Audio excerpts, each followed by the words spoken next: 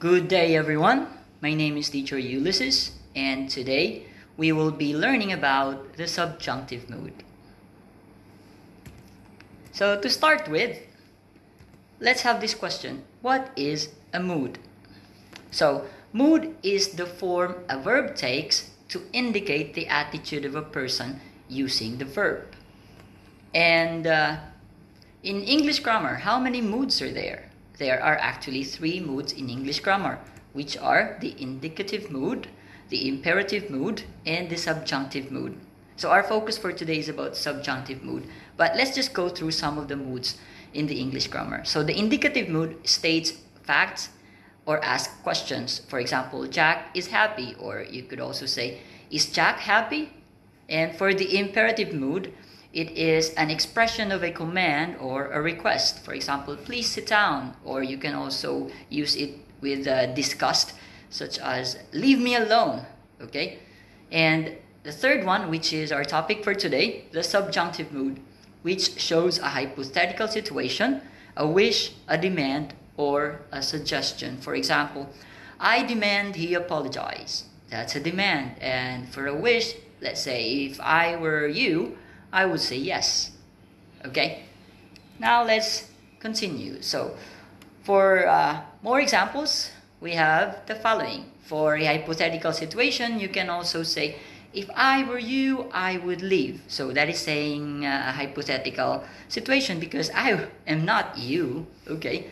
If it were summer, I would go swimming, supposing it is not summer. And an expression of a wish, a demand, or a suggestion, we have the following examples. I wish it were mine. Okay. Next, the teacher demands that he be in the room. Next, did you suggest she bring her parents? Okay. Uh, now, have you observed what happened to the verbs in these sentences? So, in the first two sentences, if I were you, I would leave. I were you, I use were okay, for the subject I. And then if it were summer, I would go swimming, so I use were for the subject it, okay? And for the next sentences, I wish it were mine. It were mine. The teacher demands that he be in the room, so we use be. Normally we say he is in the room, but here we use be. And then, did you suggest she bring her parents? So normally you would say she brings her parents. But since it is in subjunctive mood, she bring without an S her parents. Okay, so I hope you have got something from there. We will go into details as we go along.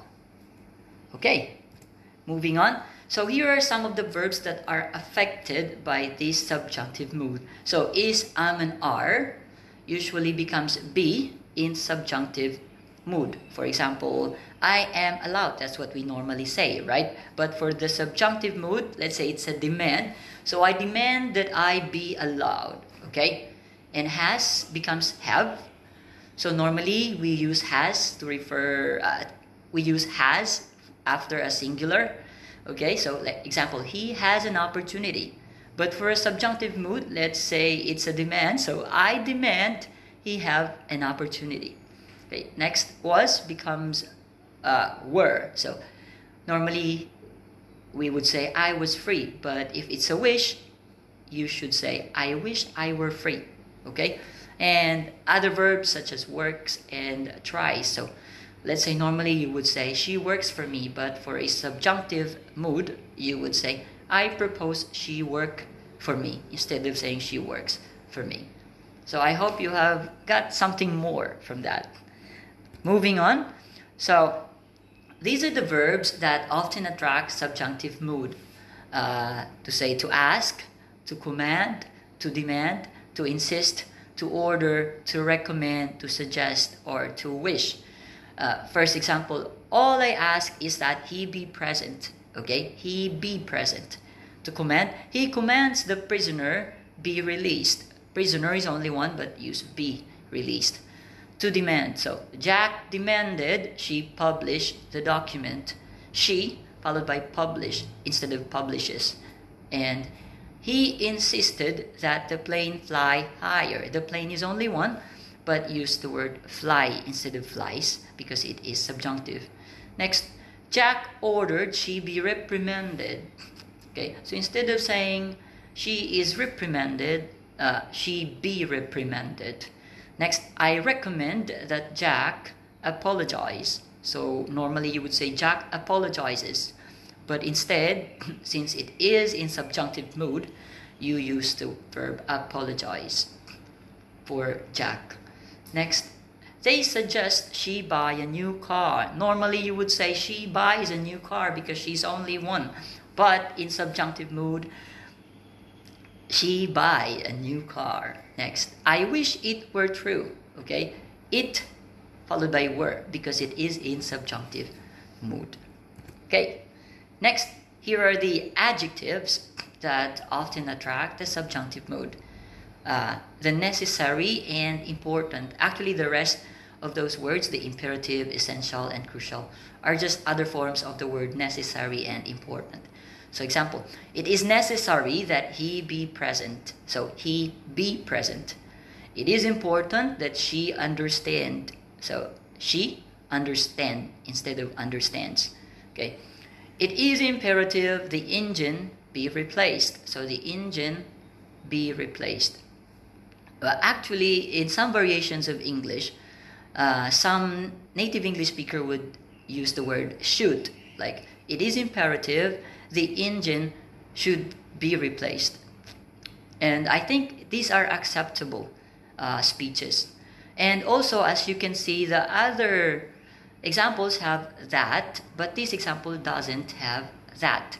We should also be aware that uh, in informal English, especially when you are talking, we sometimes drop the word that because it would still mean the same. It uh, it's just like uh, it's a common thing among among uh, people who speaks English in their everyday life. So here uh, it is imperative the engine be replaced. You can also say it is imperative that the engine be replaced. Okay.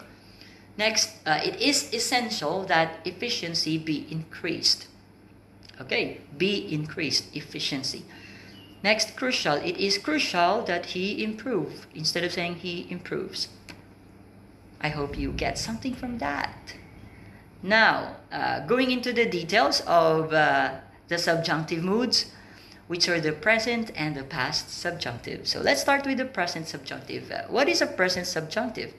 In formal English, expressions and verbs that suggest that something is recommended or important take the, take the present subjunctive form. So the present subjunctive has the same form as the base form, or what is the verb originally, of the verb. And it is the same in both the present situation and the past situation. Let's have some examples. Okay. First one. It is necessary that they be warned of the risks. Okay, so this is in the present tense. And we use be. Uh, another example, this one is in the past tense. It was vital that they be warned of the risk. Still, we use be. Okay? And another example, I recommend that he see a specialist.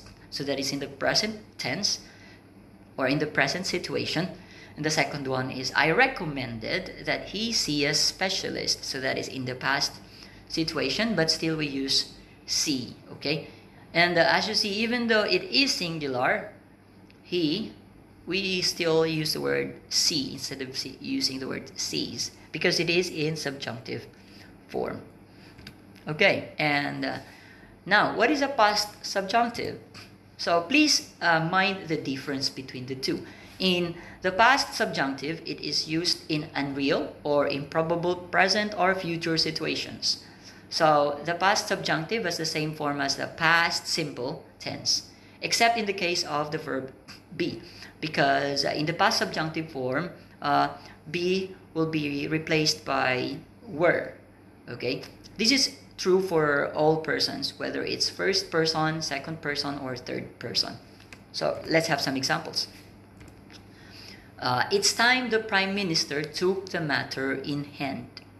Okay, by the way, it's time is uh, an expression saying about the urgency of this matter. Okay? Or normally you would say it's high time. Okay? Or you can just say it's time. It's time the Prime Minister took the matter in hand. So as you see, prime minister is only one, but we use the verb uh, took instead of takes. Okay, next, I wish it weren't so great today, supposing it is so great today. So I wish it weren't so great today. Next, if only I had a faster computer, supposing I don't have a faster computer.